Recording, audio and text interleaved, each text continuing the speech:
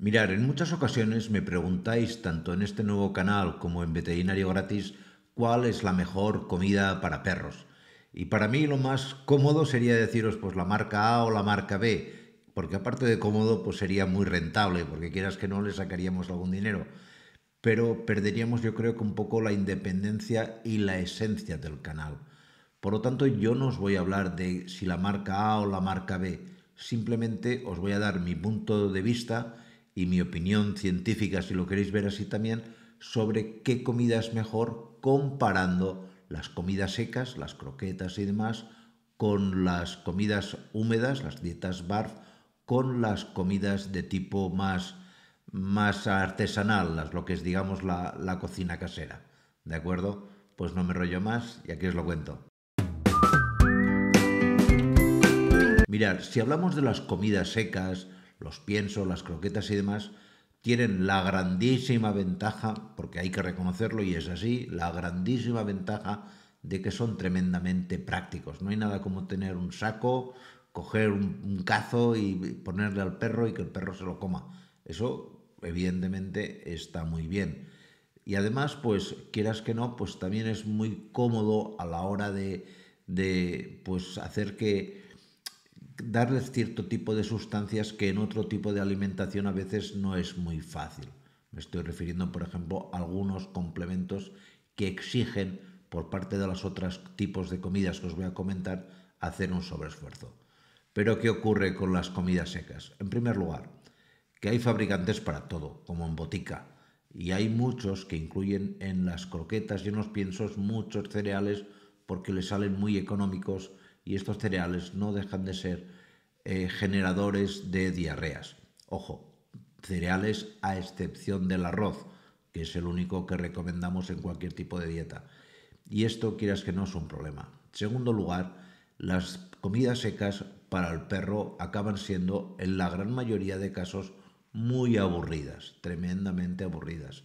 Siempre comer lo mismo, prácticamente del mismo sabor e incluso de la misma marca, pues no deja de ser algo pues muy aburrido y los animales cuando cambian de alimentación se ve enseguida que aquello no les gustaba mucho. En tercer lugar, y a mí esto sí que es algo más personal, muchos, muchos, muchos fabricantes de piensos o croquetas incluyen en su formulación las famosas harinas de carne. Y yo, pues ya creo que os he comentado en alguna ocasión que de jovencito, cuando empecé a trabajar como veterinario en Francia, me tocó vivir la mala experiencia de la enfermedad de las vacas locas, enfermedad que se produjo por adicionar a las comidas de los animales de granja harinas de carne, harinas de sangre, es decir, restos de matadero que se procesan y se añaden al alimento para que sea más económico el aporte de minerales, de ciertos nutrientes y demás. Eso la Unión Europea lo prohibió, pero lo sigue manteniendo y autorizando tanto para las comidas de peces de piscifactoría como para los perros y gatos, evidentemente. Y yo, pues, ¿qué queréis que os diga? A mí no me parece adecuado. No me parece adecuado porque no está del todo demostrado que no pueda existir transferencia de priones de unas especies a otras. Por lo tanto, como no me gusta, pues no, no me acaba de, de venir muy bien, ¿me entendéis? No suelo recomendar por lo general, salvo dietas muy específicas, muy, muy que vayan muy al grano de alguna determinada patología para la cual sea difícil cocinar, pues veo, no me acaba de gustar esta recomendación. Y luego, pues quieras que no, en el proceso de fabricación tanto de las croquetas como que decís en América, como del pienso que decimos aquí en Europa, pues al, alimento se le, se le somete a un proceso denominado extrusionado. Y el extrusionado es un proceso industrial en el cual al alimento se le somete a altas temperaturas y a altas presiones. Que esto, quieras que no, desnaturaliza mucho buena parte de los nutrientes que se han querido introducir en ese pienso o en esa croqueta. Con lo cual, pues querámoslo o no, pues no es tampoco de lo más adecuado. Y evidentemente, pues eh, esto, pues un animal que de forma continuada le das a comer pienso croqueta, pues con el tiempo manifiesta algún tipo de carencia. Segundo apartado, hablemos ahora de las comidas BARF. Las comidas BARF cuando salieron fueron, pues oye, una revolución, un avance. Además a los perros les suele gustar mucho, es una comida cruda, pero yo les veo el inconveniente, para mí muy importante, porque recordaros que también soy microbiólogo, de que tú coges una placa de Petri, que son estas plaquitas que habéis visto donde se hacen los cultivos de, bacterias, la pones en la superficie de un trozo de carne cruda y al cabo de, pues no llega 24 horas de haber tenido ese contacto y después haberlo llevado a una estufa para que crezcan bacterias, ahí te crece de todo. Es muy difícil ofrecer a un animal una alimentación cruda que por mucho, mucho que se esfuerce el fabricante en coger las mejores piezas, que a veces en, algunos casos, en algunos casos no lo son, pero suponiendo que sean las mejores piezas de carnicería, pues el animal, el perro, o, se lo come todo o siempre se dejan algo en el plato y ese dejarse algo en el plato, una comida cruda está tremendamente o está con más tendencia a tener presencia de bacterias en su superficie, acaba contaminándola.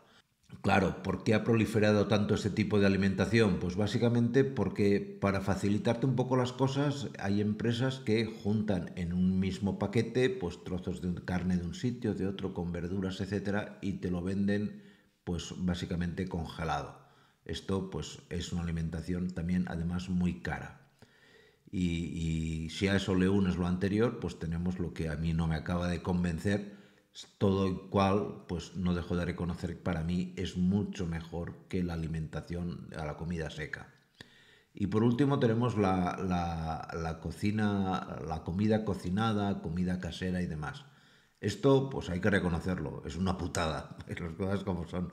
Es una putada en el sentido de que no es tan práctico, tienes que estar siempre encima del perro, no es fácil hacer eh, recetas, porque tienes que pensar bien las cantidades, es decir, los animales necesitan una serie de nutrientes y uno a veces no sabe qué riqueza en tal aminoácido, en tal vitamina tiene eh, tal o cual eh, alimento.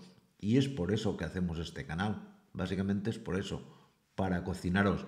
Aparte de echaros unas risas, que nos reímos un montón cuando grabamos los vídeos míos eh, cocinando, pues para daros información de cómo tiene que ser una receta con un objetivo determinado. Puede ser arreglar o curar a un animal que tenga una anemia, una diarrea, un síndrome de Cushing.